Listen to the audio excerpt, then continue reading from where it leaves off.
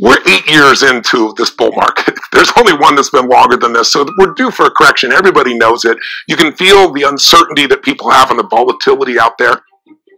So, what I wanted to do is show a millennial who may have too much debt and think they'll never be free, that the next crash is the greatest opportunity probably in your life to leapfrog from where you are to where you want to be.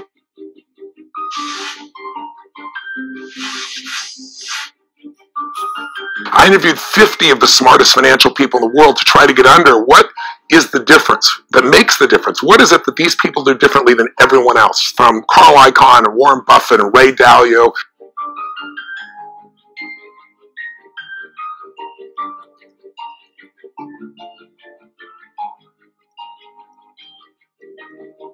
we all have to become owners. And I'm sure most of you watching already are, but maybe we need to give ourselves a raise. When I say owners instead of consumers, we all have to decide that we're going to take a percentage of our income and that we're never going to see it. We're just going to have it automatically put in an investment account. Then we decide where to put it.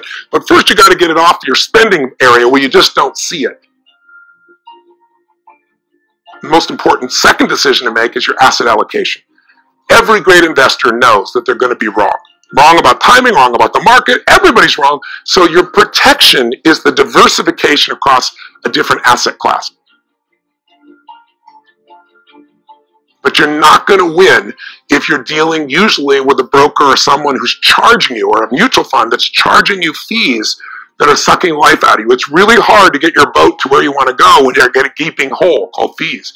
And most people have no clue what they're being charged in fees.